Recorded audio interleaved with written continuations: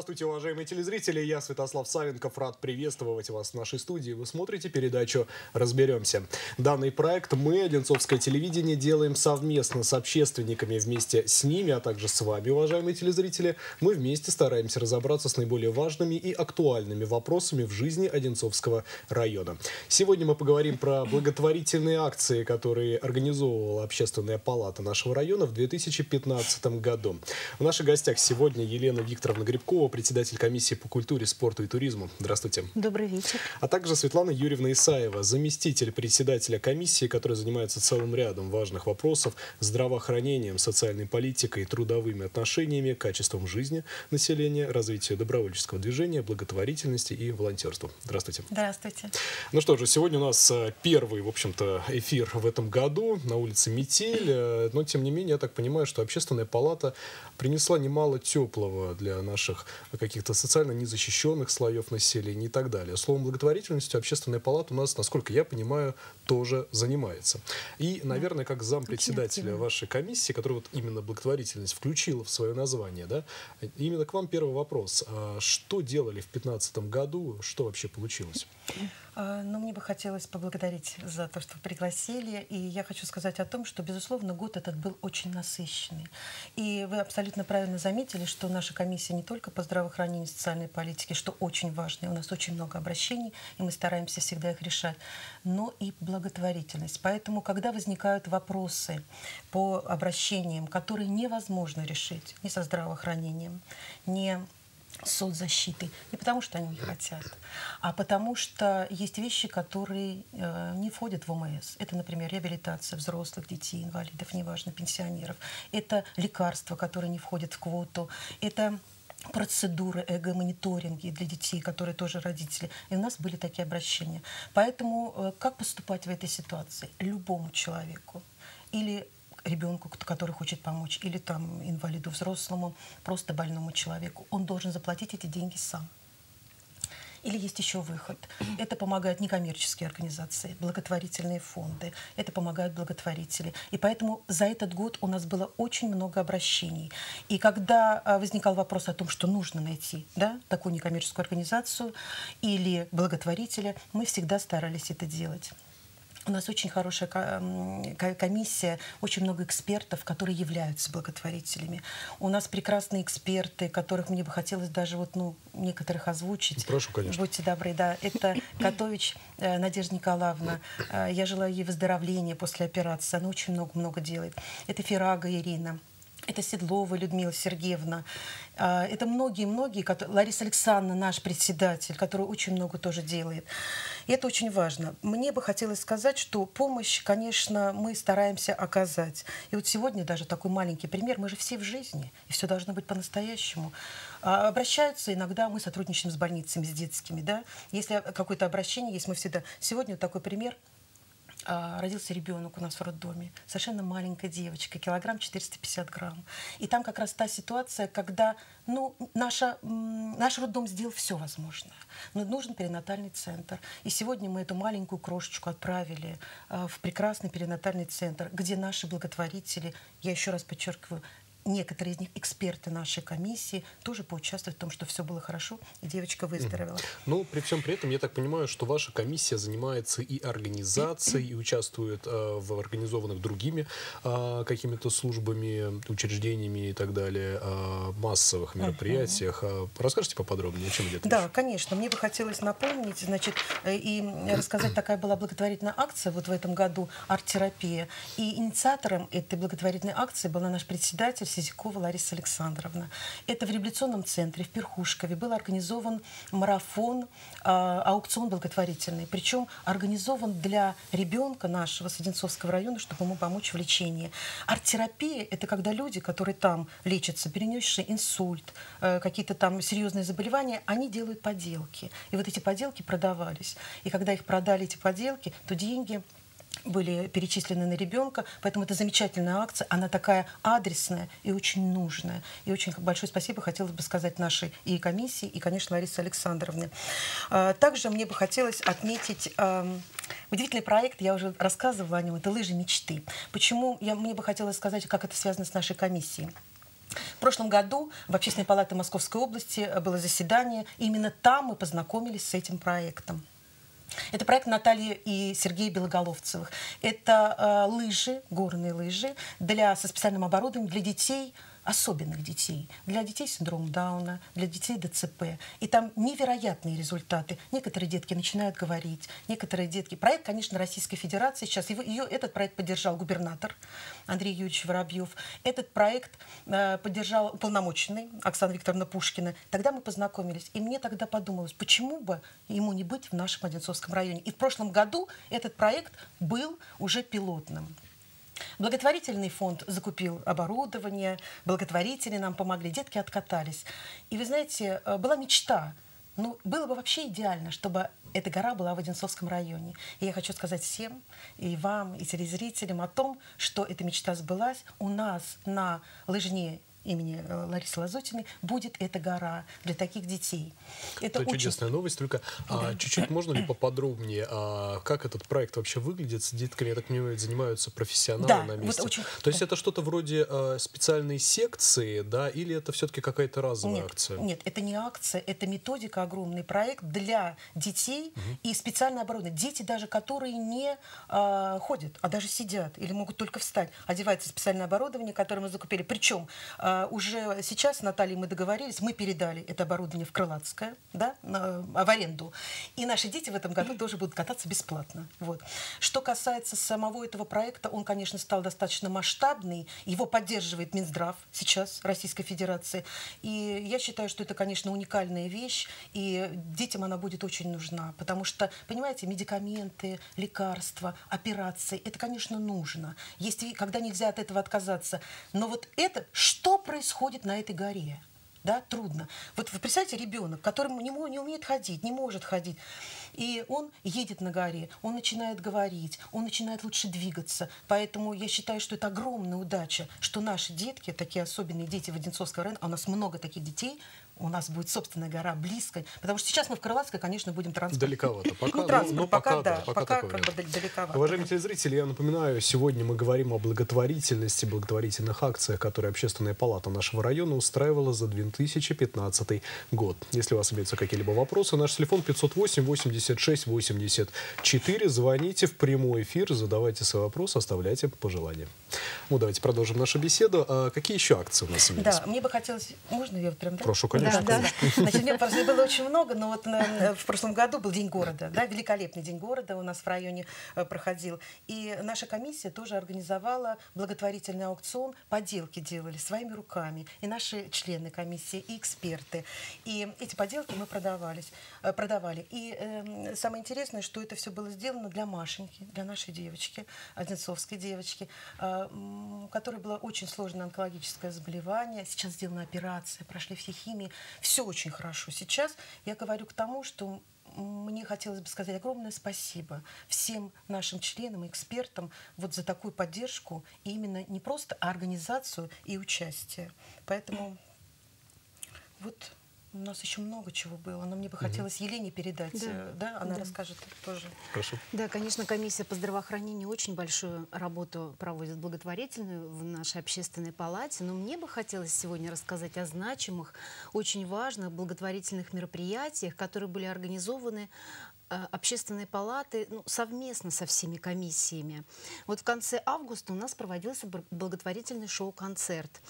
А, в сельском поселении Чистовское для детей-сирот и детей из многодетных а, малоимущих семей. А, праздник назывался «Живи ярко, твари добро». Это мероприятие было очень интересное. Святослав, мы уже как-то освещали его в передаче. Оно проходило под открытым небом на площади возле КСЦ Чистовская.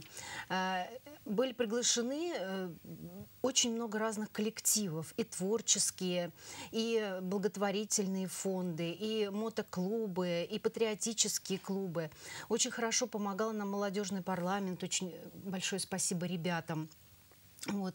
Таким зрелищным э, праздником были охвачены детки-сироты и 8 э, многодетных малообеспеченных семей. Ну, в целом у нас получилось около 50 детишек. Э, благотворительными фондами были подарены подарки детям. Но это, знаете, такая акция благотворительная была перед, как раз перед 1 сентября для того, чтобы помочь родителям собрать деток в школу. Детки получили комплекты, э, школьные комплекты, получили подарки книги в твердых переплетах, получили сладкие подарки, получили спортивные подарки. Вы знаете, вот до сих пор у нас продолжается благотворительность э, после этого праздника.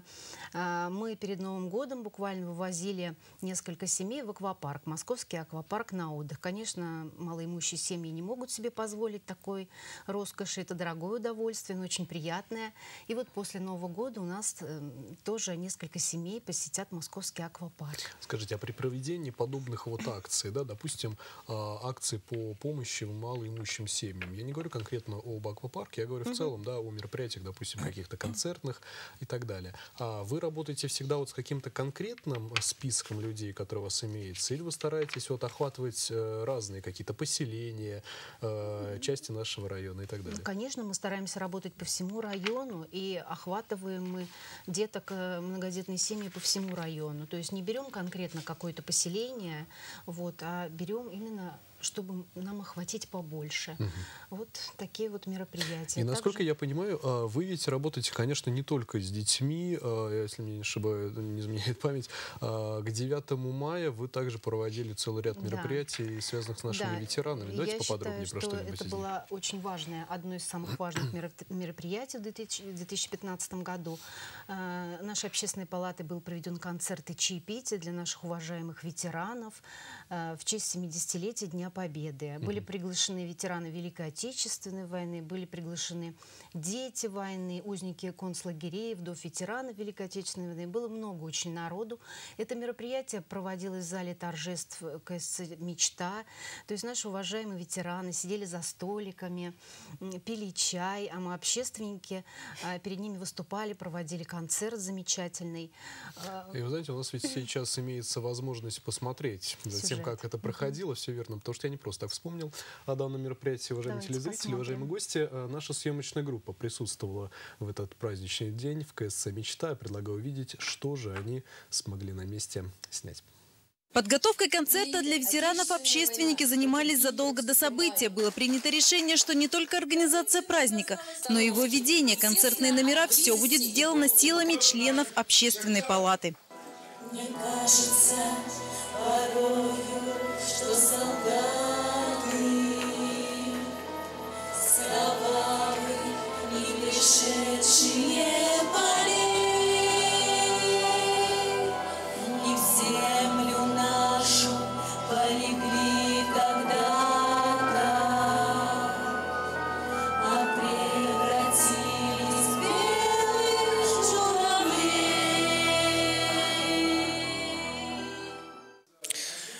любое внимание любой организации, со стороны любой организации очень важно для ветерана. Потому что на самом деле там можно привезти им стиральную машинку, занести домой, которой они пользоваться, может быть, даже не умеют. Поставить третий холодильник уже за последние там три юбилея. А можно пригласить на такое чаепитие, где они попоют, пообщаются. И на самом деле для них это гораздо более важно, по моему мнению. За большим столом собрались те, кто ценой собственной жизни отстоял нашу родину перед лицом врага. Не сломился и не отступил. Ветераны с удовольствием общались друг с другом и с подрастающим поколением. Им было что рассказать и вспомнить. Ну, надо просто э, порадоваться, что общественная палата впервые в районе значит, организовала такую замечательную встречу с э, ветераном. Особенно для нас, это для инвалидов войны и военной службы. Очень важно та теплота, та обстановка, которая здесь была создана на этой встрече. Она, конечно, способствует лучше нашему настроению, и надо работать. И все. Ветераны с трудом сдерживали слезы. Каждое слово, каждая песня, все было посвящено в этот день только им.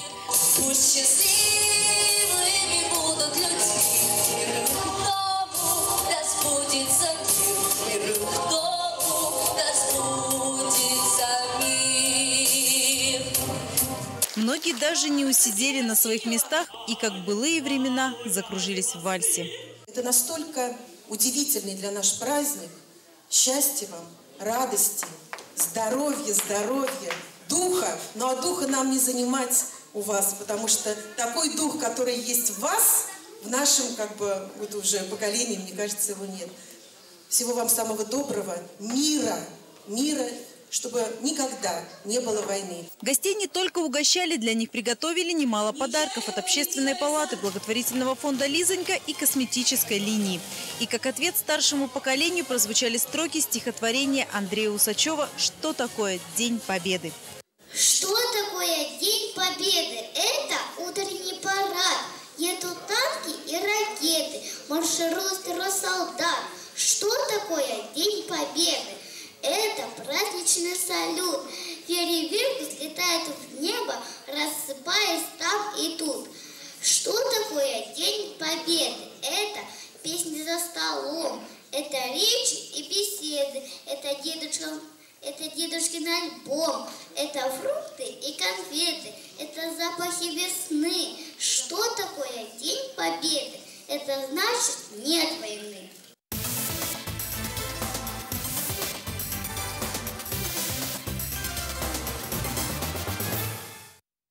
Ну что же, вот такое интересное, увлекательное, довольно красивое мероприятие прошло у нас в преддверии 70-летия Великой Победы.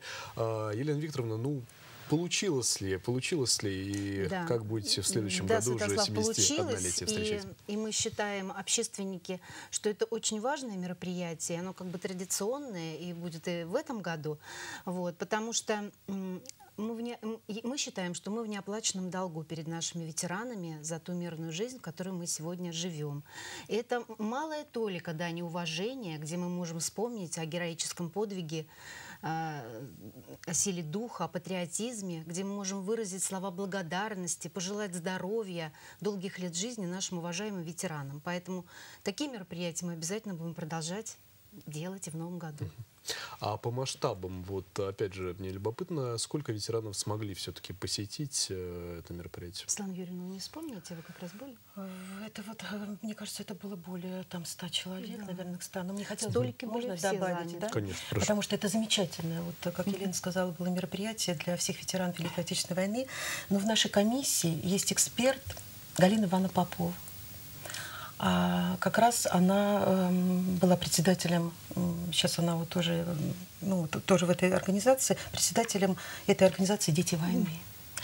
И наша комиссия для этой организации, только для этой организации, тоже к 70-летию э, приготовила э, такой праздник. У нас тоже был прекрасный и концерт, и прекрасное было чаепитие, и что меня больше всего поразило, что прошло уже много времени, да, как бы с этого, но и Галина Ивановна, и люди, которые ей передавали, они очень были радостны, э, были очень благодарны э, за этот праздник. За а внимание. ведь что за внимание, абсолютно uh-huh. прям взяла. Э, самое главное внимание, внимание, которое там было. Поэтому, безусловно, мероприятие Вообще очень много в районе проводилось мероприятий, и я считаю, общественная палата очень достойна, да, очень достойно к этому тоже отнеслись. Поэтому низкий поклон этим людям. И мы, мы, наверное, с вами здесь не разговаривали, да. Это удивительная, конечно, была история. А, ну что ж, давайте продолжим нашу беседу. А, насколько мне известно, Общественная палата является одним из регулярных участников ежеквартальных акций по сдаче крови. Да. А, скажите, да. Елена Викторовна, я, насколько знаю, вы тоже достаточно ну, часто посещаете эти мероприятия. А, как сейчас эта традиция сохраняется ли? Да. Если да, то в каком виде? Да, обязательно. Ежеквартально общественники принимают участие в сдаче крови. Вот, и мне хотелось бы сказать о последней. В том году, в 2015 в декабрьская сдача крови у нас была очень массовая. Приняли участие более 70 человек, это много. Вот, мы э, принимали участие с управлением образования Одинцовского района тоже. Э, и все деньги, что самое главное, все деньги, э, которые были собраны после сдачи крови, были перечислены на лечение мальчика Жени. А, вот. И мы считаем, что это тоже очень важное благое дело, потому что э, здесь, получается, мы помогаем в двойном как бы, размере. Да? Мы и сдаем кровь, и помогаем денежными средствами нуждающимся, потому что после каждой сдачи крови у нас денежные средства переходили в благотворительность нуждающимся, не только деткам, но даже и взрослым. Вот такие акции будут у нас обязательно продолжаться и в этом году. А, уважаемые телезрители, я напоминаю, сегодня мы говорим о благотворительности в Одинцовском районе, о том, какую роль в ней играет общественная палата. Наш телефон 508 86 84. Звоните, задавайте свои вопросы в прямом эфире. Давайте продолжим нашу беседу. Э, скажите, по поводу, э, давайте немножко еще поговорим по поводу акций по сдаче крови. А вот насколько все-таки, по-вашему, динамика изменяется, да, участие людей в этих акциях? А, потому что общественная палата именно вашего созыва уже не молода. В общем-то, да, она отработала да. немало времени. А можете ли вы сравнить, как было, да, вот именно по данным акциям, и как стало? Ну, Святослав, мне кажется, в, в таких акциях принимают участие все, кому позволяет здоровье, да, но у нас вот в общественной палате, конечно, откликаются многие. То есть э, эта акция проходит всегда очень хорошо.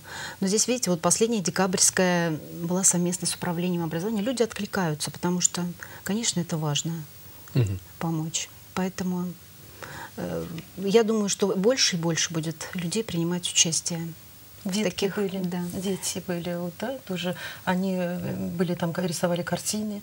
И тут самый момент такой, как мне кажется, это мое мнение, что информационно очень важно доносить это, да, пример.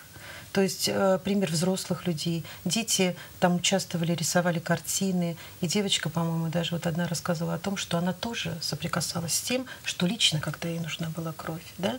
Нужно понимать о том, что мы можем каждый столкнуться с такой историей, что она понадобится или нам, или нашим близким. И это такая вещь. Этим нужно заниматься. Людям надо об этом говорить, рассказывать, показывать. Может быть, доносить дома. Школа это идеально тоже, но, наверное, все в семье. В семье да. это проговаривать нужно.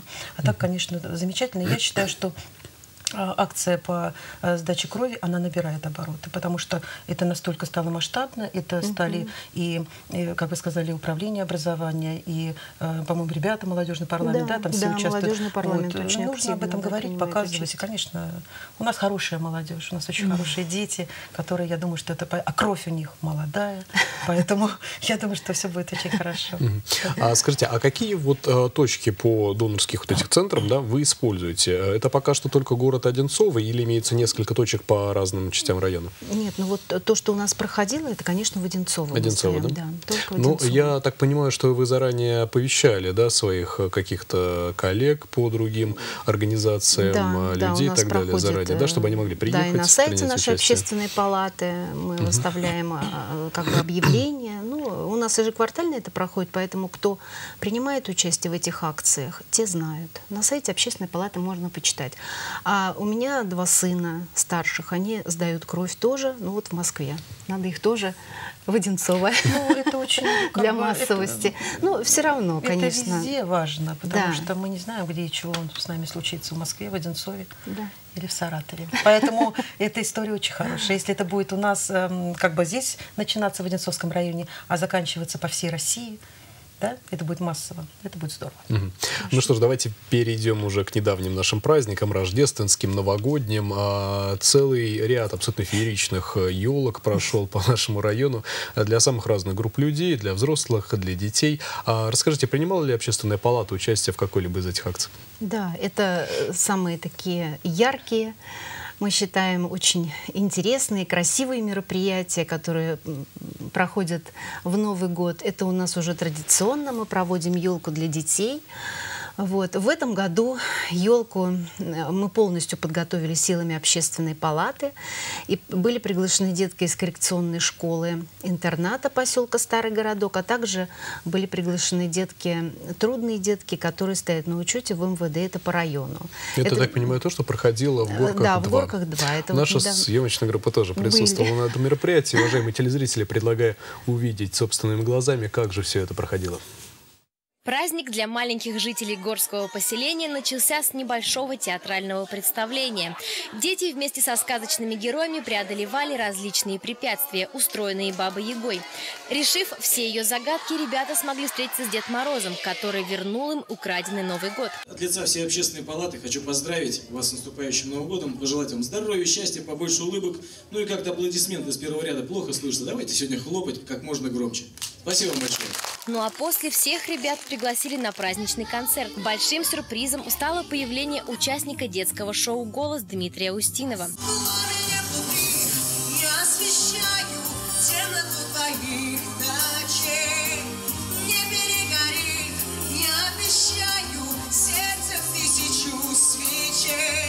Свои номера также представили участники различных творческих коллективов. На сцене маленькие артисты танцевали, пели и показывали акробатические номера. Самыми важными гостями этого торжества стали Дед Мороз и Снегурочка. Верить нужно всегда в Деда Мороза, потому что Дед Мороз, он волшебник, он исполняет все желания. Дед Мороз – это тот, в кого верят даже взрослые. И Внученька, дети. скажи, пожалуйста. Да, обязательно нужно верить в Дед Мороза, в Снегурочку, в сказку, в волшебство, в Новый год. Новый год – это один из самых ожидаемых праздников в жизни каждого из нас. Многие ждут чуда, которое изменит их жизнь, а дети, конечно же, подарков, как награду за свое хорошее поведение. Почему верить в чудо? Ну, наверное, чтобы быть самим таким самодостаточным, для того, чтобы можно было рас- раскрыться и проявить такую творческую часть. Самые строгие зрители – это дети, поэтому организаторам так важно, чтобы праздник понравился им. В конце представления каждый мог пообщаться с главным дедушкой страны и рассказать о своих желаниях. Я думаю, он хороший и веселый. Спасибо общественной палате за это.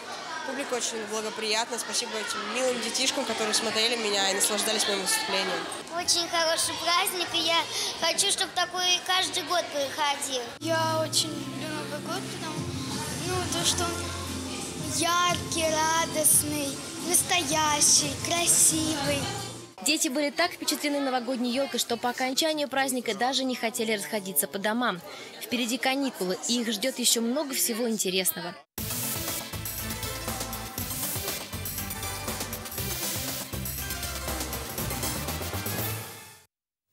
Ну что же, акция выглядела действительно весьма и весьма интересно. А, Елена Викторовна... Да, Святослав, да, вот Вот, продолжение. вот скажите мне вот что. А, Вот у нас акция прошла, да, то есть Да. э, ребятки получили какой-то там свой, в общем-то, заряд удовольствия, позитива и подарки какие-то, да. Но ведь есть у нас ведь э, действительно ребята, которые, вот правильно Светлана Юрьевна говорила, когда про лыжи мечты вспоминала, да, которые не могут встать, приехать, э, посетить. Получается ли как-то с ними тоже взаимодействовать? Или- Обязательно, обязательно. В продолжение Получается. вот этого праздника Так. мне бы хотелось сказать, что немного позже мы тоже, нарядившись Дедом Морозом и Снегурочкой, посетили пять многодетных семей по э, Одинцовскому району э, с интерактивной, с мини-интерактивной уже э, программой, то есть играли с детками дома. Всем деткам были вручены игрушки, сладкие подарки. Поэтому у нас нет неохваченных деток. Можно? Также вот Да, конечно, Юрьевна, прошу. да, Я про просто быстро, потому что времени быстренько. мало. Ну, во-первых, была э, в этом году тоже была елка главы для детей с инвалидностью, да, для деток э, тяжелых детей, детей, которые являются инвалидностью. Это второй год уже. Это стало традицией. И я считаю, что это уникальный проект, и мне бы хотелось поблагодарить главу за это, что он это делает. Это здорово. Такого раньше не было в Одинцовском районе, когда все дети, да, вот такие особенные дети были на елке. И, конечно, общественная палата, вот именно на елке для таких детей приняла огромное э, значит, э, Участие, участие. да. И мне бы хотелось поблагодарить особенно мужчин общественной палаты, которые пришли, потому что были дети-колясочники. И вот э, за то, что э, эти настоящие мужчины, которые туда пришли, Красивые, они сильные. сильные, красивые, добрые, которые понимают и чувствуют боль. Вот они туда пришли к нам, и они помогали переносить этих деток. Мне бы хотелось также сказать о том, что уже так же, как елка проходит два года, а, второй год мы поздравляем всех детей лежачих Одинцовского района. Их около 50. Мы и наши эксперты, еще раз повторю, благотворители, подарки, мы к ним приезжали, очень трогательно. Эти детки очень рады. И в этом году мы передавали, как и в прошлом, подарок и открытку от главы района, от Андрея Робертовича. Лично подписанную открытку. Это тоже было приятно. Родители и дети. Эти детки мало что видят. Ну и последняя была акция «Поможем Дедушке Морозу».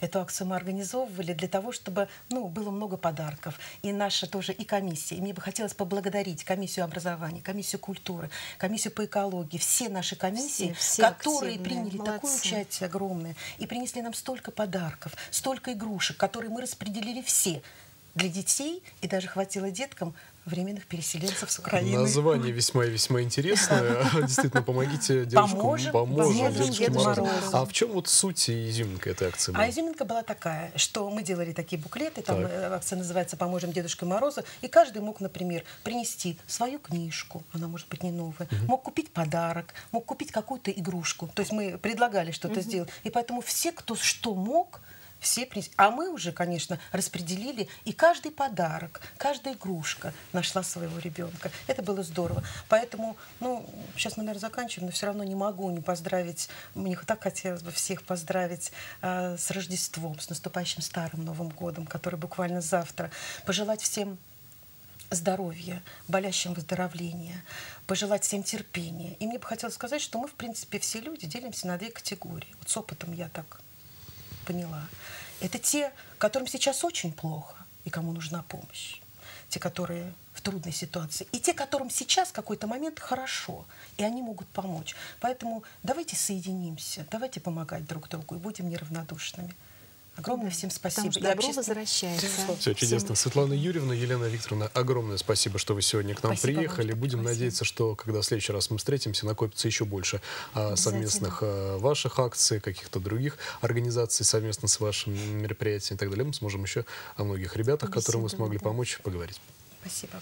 Уважаемые телезрители, вы смотрели передачу «Разберемся». Сегодня мы говорили о благотворительных акциях, которые Общественная палата Одинцовского района проводила за 2015 год. Если у вас имеются какие-либо вопросы, предложения, наш телефон 508-86-84. Звоните нам в течение недели. Кроме того, вы можете обратиться напрямую в Общественную палату через официальный сайт Общественной палаты или воспользовавшись формой обратной связи, которая там же и находится. С вами был Святослав Савенков. До встречи через неделю.